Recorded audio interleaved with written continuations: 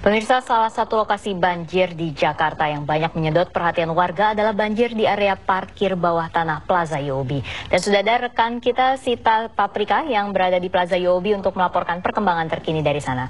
Sita, silakan.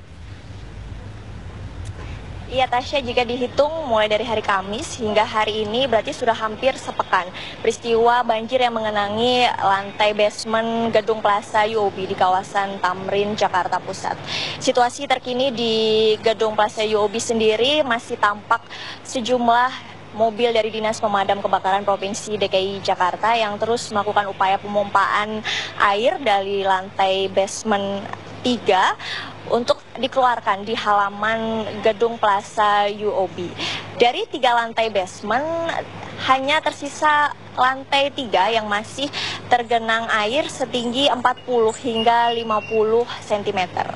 Dan sesuai rencana kemarin, hari ini telah dilakukan evakuasi 19 mobil yang ada di basement 2 yang kemudian ditarik dan ditaruh di halaman atau lapangan yang terletak di belakang gedung Plaza UOB yang nantinya akan langsung diderek oleh pihak asuransi.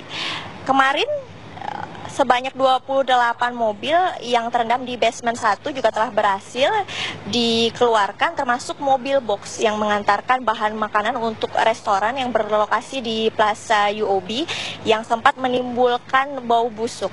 Evakuasi mobil dilakukan pada pukul 3 sore dan ditarik keluar dari basement menggunakan 8 mobil derek dan dikumpulkan di sisi belakang gedung UOB. Kondisi mobil sendiri kebanyakan tertutup lumpur dan tanah merah serta beberapa bagian mobil eh, mengalami penyok akibat eh, gesekan-gesekan antara mobil karena terseret oleh arus. Sebagian besar mobil yang terendam di basement gedung adalah milik karyawan yang bekerja di Plaza UOB.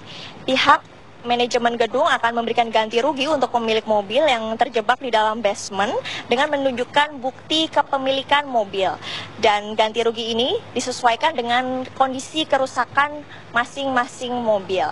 Sementara itu, eh, beberapa karyawan yang bekerja di perusahaan yang berada di uh, gedung Plaza UOB sendiri sudah tampak uh, mulai melakukan aktivitasnya meskipun belum berjalan normal di mana uh, listrik di gedung UOB sendiri sudah diaktifkan namun air masih dimatikan. Sebagian perusahaan juga masih memilih untuk meliburkan karyawannya.